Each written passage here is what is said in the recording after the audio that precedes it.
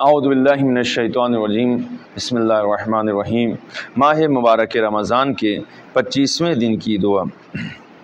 بسم اللہ الرحمن الرحیم۔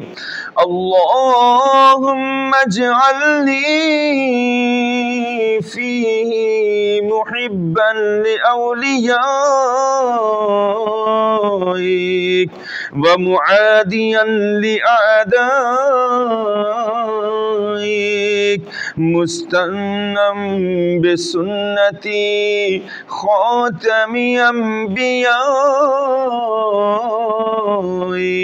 يا عاصم قلوب النبي اے میرے اللہ، اے میرے خدا، آج کے دن مجھے اپنے کا، اپنے دوستوں کا دوست قرار فرما اور اپنے دشمنوں کا دشمن مجھے قرار دے اور خاتم الانبیاء کی سنت کا پیروکار قرار فرما، اے انبیاء کے، قلوب کے محافظ۔